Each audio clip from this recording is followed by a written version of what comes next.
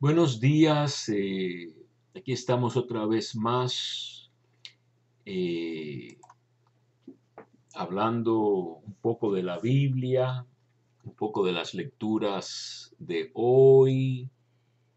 Y yo quería eh, repetir un poquito algo que siempre hablo un poco, que es esto de la historia de Israel que es una historia larga, vamos a decir, de 700 años por lo menos, desde el éxodo de Egipto bajo Moisés, hasta el exilio de Babilonia. Y resulta que eh, la primera lectura de la misa de hoy es del profeta Jeremías.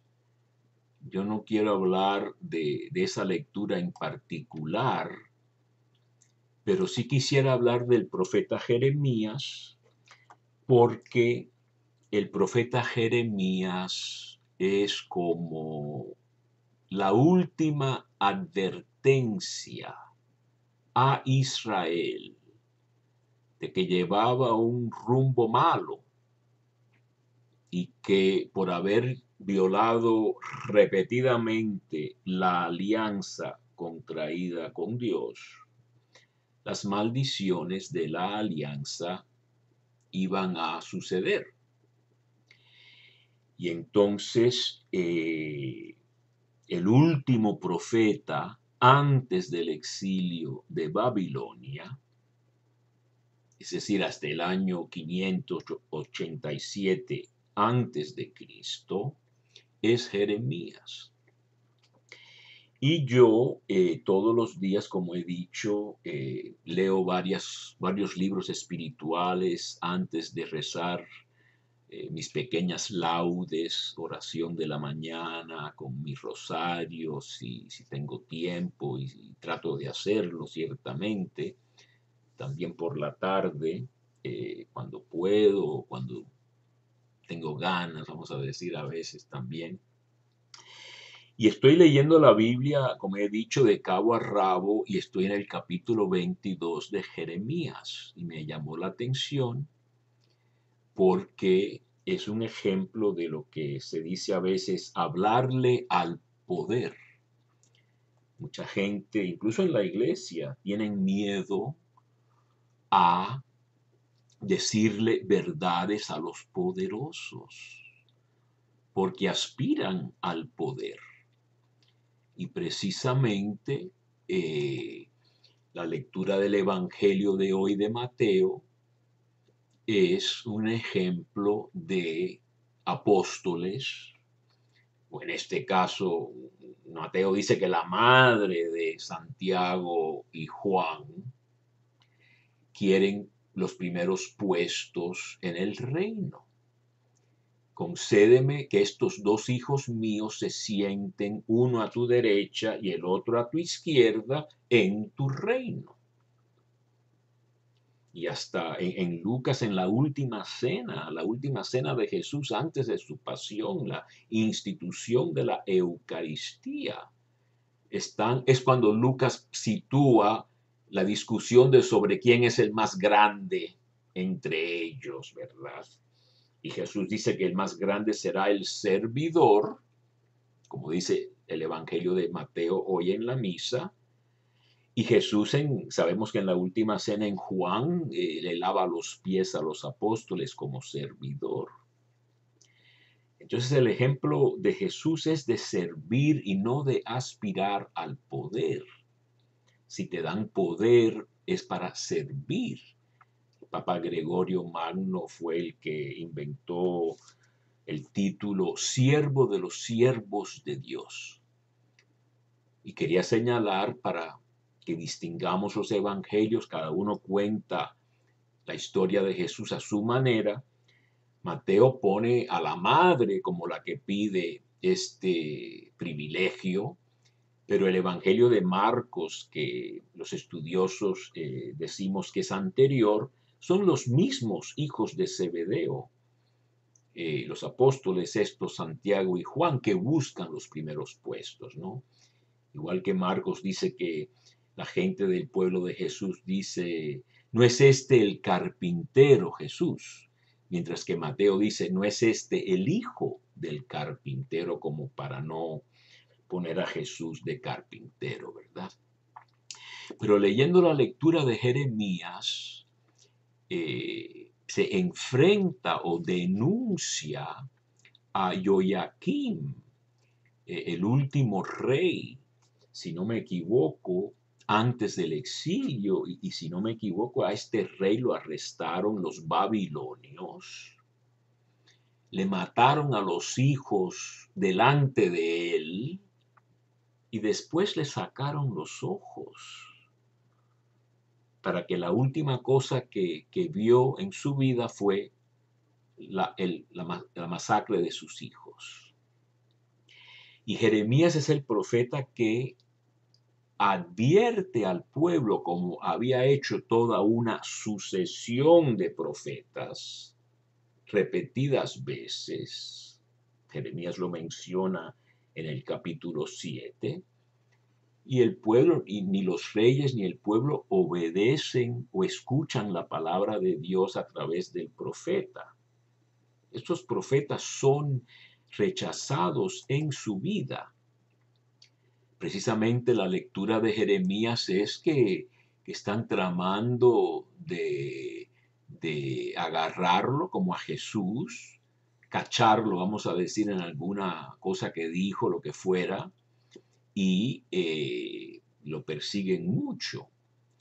Entonces, eh, pero Jeremías se enfrenta a Joaquín, que es el hijo de Josías que fue el último buen rey, reformador, pero que cometió el error de salir a la batalla contra Egipto, le pegaron un tiro y se murió, y su reforma religiosa y social se vino abajo.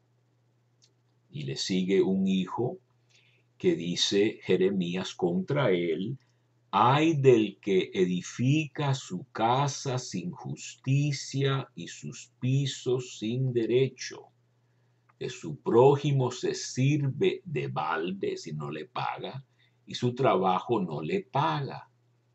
El que dice voy a edificarme una casa espaciosa y pisos ventilados y le abre sus correspondientes ventanas pone paneles de cedro y los pinta de rojo?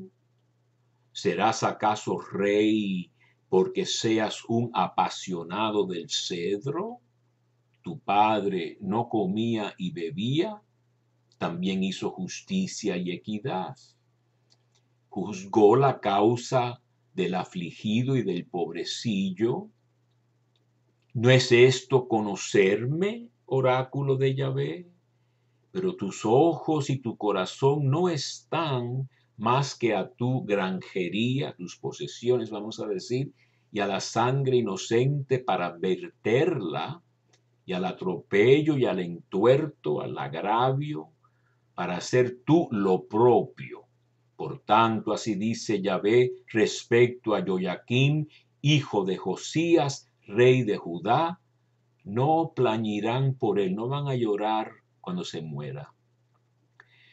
El entierro de un borrico, de un asno, será el suyo. Así que es una muerte bochornosa que le predice el profeta Jeremías y como digo es la última advertencia, advertencia no escuchada antes de que finalmente invaden los babilonios, eh, acaban con el templo, y deportan a todas las clases dirigentes y artesanales o con capacidades especiales de construcción o de orfebres, gente que trabajaba con joyas, etc. Y se los llevan al exilio que va a durar casi 50 años, ¿no? Y esto yo siempre lo, asocio a la crisis que tenemos ahora. El mundo va mal, mucha hambre, mucha destrucción del planeta, mucha explotación, mucha mentira, mucha mala información. dos planetas habitamos ahora, un planeta que, es racional y cree en la ciencia y escucha y piensa y lee y se entera de verdad y confirma las cosas, verifica lo que escucha. Y otro mundo de fanáticos locos que, que, no se puede casi ni hablar con ellos, piensan cosas de locos y se creen que, son los que tienen la verdad de Dios y eso a mí me, me, vuelve mal, me pone bastante mal. Eh, yo quería terminar el poco tiempo que siempre tengo para hablar de la fiesta que se celebra hoy en Estados Unidos de una mujer que sí es un ejemplo bueno, Catherine eh, Drexel, una heredera riquísima. El padre eh, enviudó le dejó una fortuna enorme, 20 millones de dólares en aquel tiempo, que era, son 400 millones de dólares hoy en día, y contrajo una nueva, un nuevo matrimonio con una mujer, eh, Emma Bouvier, eh, que es pariente de Jacqueline Kennedy. Así que el mundo es un poco chiquito, ¿no? Pero esta mujer que heredó tanto dinero, en Filadelfia de Estados Unidos, eh, tenía, tomaba dirección espiritual de un cura de Filadelfia y ella dijo que quería unirse o entrar a una orden contemplativa. El director espiritual le dijo que esperara y que rezara. Y finalmente, pues, eh, ella dispuso de, la parte de su fortuna, eh, que era enorme, y eh, entró a eh, las Hermanas de Misericordia, un convento en, en el estado de Filadelfia, y ahí pues eh, entró de monja, hizo sus votos y después fundó, como ella quería, una congregación religiosa que se llaman las Hermanas del Santísimo Sacramento. Y eh, siendo esta clase social tan alta, eh, recibió pedidos de que ayudara a eh, los, los navajos, unos, unos indígenas norteamericanos muy interesantes, ayudar a los indígenas norteamericanos, a veces se les llaman los indios, ¿verdad? Y eh, pues ella se dedicó mucho, estableció 145 misiones, 50 escuelas también para los negros, 12 escuelas para los nativos americanos y la Universidad eh, Javeriana de Luisiana, que es la era el único colegio de negros en esa época en Estados Unidos. ¿eh? Entonces es, es santa murió a los 96 años en el año 1955.